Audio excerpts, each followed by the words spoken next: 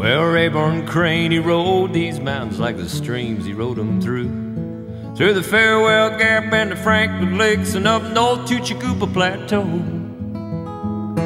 With the government men and the hunters and the dudes and the leaders of the business world. Yeah, Rayburn Crane was a pack horse man and a mighty good hand with a mule. Rayburn Crane, Rayburn Crane.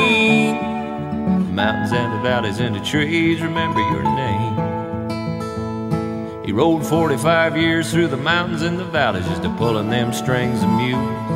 And the ropes and the shafts and the halters and the saddles, so these was the Rayburn's tools. Sitting down at night by the firelight, talking and a pulling at the whiskers on his chin.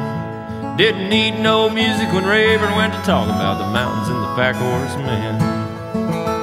Rayburn Crane, Rayburn Crane. The mountains and the valleys and the trees remember your name.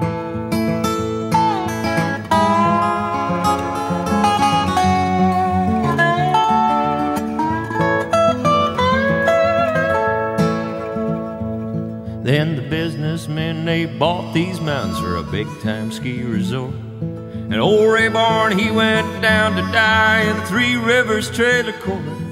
And the canvas flapjack cook tip moans with the bushes and the trees and the wind. Cause there ain't no place in a ski resort for a muleskin and pack horse man.